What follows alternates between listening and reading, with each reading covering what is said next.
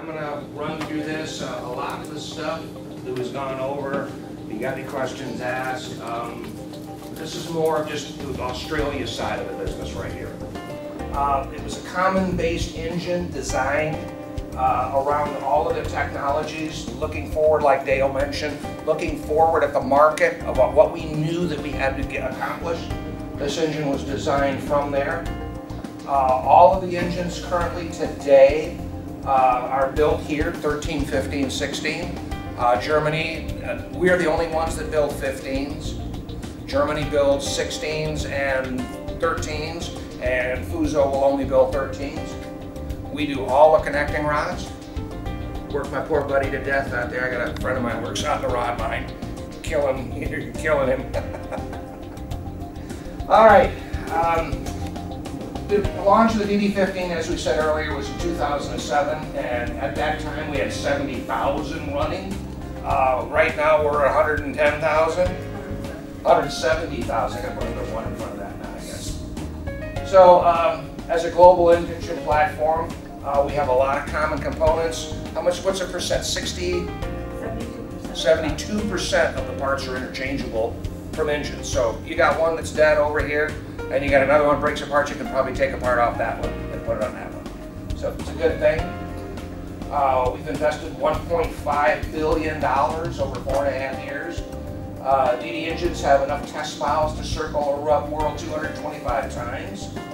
Uh, the engine was designed with 2010 in mind. And the thing that we're kind of proud of right now is that, I'm surprised Dale didn't mention it, that we were the first engine manufacturer to meet the global um, greenhouse gas 2014 emission. But he did mention the fact that we were pushing it forward to earn credits. He didn't tell you the part about we're the first to do it. And that's, uh, that's a big, uh, big thing for us that we were able to get there. Uh, this just gives a little bit of the idea here with uh, the combined efficiencies of the engine and truck, which we talked about. Uh, future emissions in mind, the global greenhouse gas. Uh, get the right engine for the right job. I mean, that's using specifications for the engine, transmission make sure that everything matches up right. And then we build all the engines, the UAW, who Pam is a proud member of. Here's some of the technologies that we have. We have the asymmetrical turbo.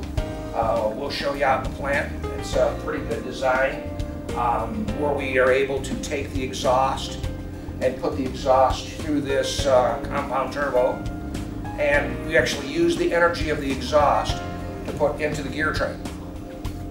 So why isn't it on the days? Um, compound turbos or uh, uh, asymmetrical turbos, they don't work below about 450 horsepower. They're, they're, they, the benefit uh, is offset by the amount of weight. It's just not there. Yeah, so you don't get the, you don't get the advantage back on it. So that's why in Australia, running 560 horsepower, you are taking full advantage of the, of the compound turbocharger there. So, is that a technology you bought from Pulsar? No, no, that's proprietary to Detroit Diesel. Um, the, what makes it work is the torque converter inside. A lot of people have tried this before but couldn't get it to work. And it's because of the torque converter that's inside the gearbox here. Um, there's a torque converter right in here. And that torque converter is out of a spark car. So that's what makes the whole system work. I mean, everyone tries it, but they didn't have that torque converter. And that's why, I mean, we've had virtually zero failures as far as this goes. I mean, this is one of the more reliable components that we use. Um, we have a fuel filter module, which will show you out in the plant all of our modular design. Integrated Jake brakes. Um, this is the quietest Jake brake on the market in the in the H-Step engines. Um, during our initial testing, whenever we would turn over a new RG truck to one of the drivers, the first complaint they would come back would be, the brakes aren't working. I did a lot of work with Walmart initially when we released this engine, and I would be testing, and I had to actually go and put the computer screen in front of these guys so they could watch the brakes come on and go off. Because, oh, the brakes aren't working. Well, why do you think that? Well, I don't hear them. And it's because they don't make any noise. Extremely quiet braking. And then, of course, DDEC. This is uh, DDEC, uh, we went from a one box with DDEC 4, DDEC 5.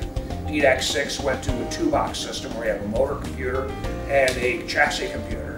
And then DDEC 10 has a motor computer, a chassis computer, and a complete computer that runs just the after treatment. That's how complex our after treatment device is now. That we need it, it needs its own ECM to run it.